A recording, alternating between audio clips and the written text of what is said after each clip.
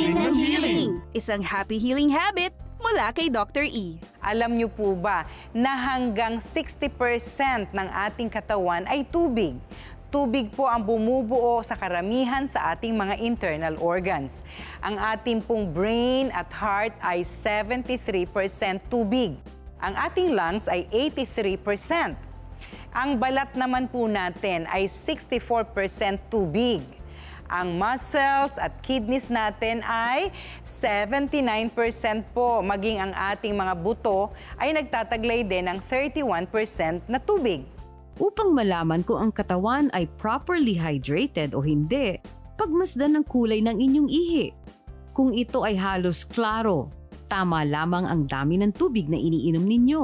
Ipagpatuloy ito. Kung ang ihi ay medyo madilaw, kayo ay medyo dehydrated. Uminom agad ng isang malaking baso ng tubig.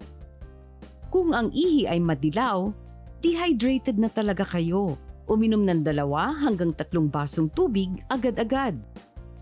Kung ang ihi naman ay madilaw na madilaw, sobrang dehydrated na kayo. Uminom agad ng isang boteng tubig upang ma-rehydrate. Paalala lamang na maaring magbago ang kulay ng ihi kung may mga iniinom na gamot na nakapagpapabago ng kulay. Upang makatiyak, pagmasdan kung may iba pang sintomas ng dehydration na nararanasan gaya ng mga sumusunod. Pagkauhaw, panunuyunan lalamunan, pagkaantok o pakiramdam na pagod, kaunting pag-ihi, sakit ng ulo o pagkahilo, at dry skin.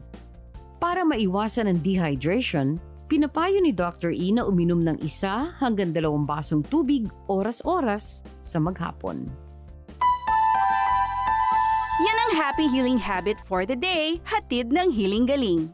Ang galing ng healing! Subaybayan ang happy healing habit araw-araw. Subscribe na sa Healing Galing YouTube channel at i-follow ang Healing Galing official Facebook page.